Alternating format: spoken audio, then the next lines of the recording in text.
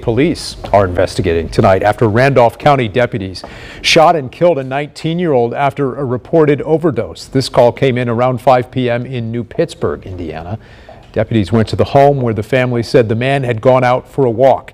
Deputies found him at a nearby intersection. They say he pointed a handgun at them and fired one shot. State police say two deputies fired back and hit the man at least once. That man has now been identified as Braden Barnhouse from Muncie. Suspect